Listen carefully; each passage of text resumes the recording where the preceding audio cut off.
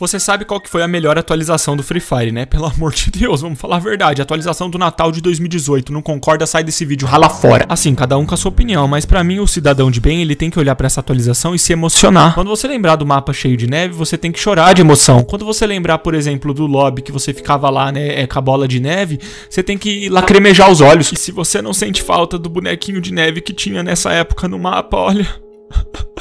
Eu não quero nem comentar. Eu acho que a atualização de 2018 não foi uma coisa grande assim. Simplesmente foi porque a gente não estava acostumado com esse tipo de coisa no FF. Não, peraí, peraí.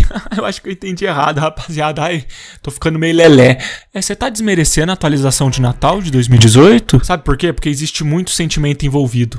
Eu amo aquele bonequinho de neve. Eu quero saber de vocês, para vocês, é, tirando a atualização do Natal de 2018, qual foi a melhor atualização do Free Fire? Não tem, simplesmente não existe.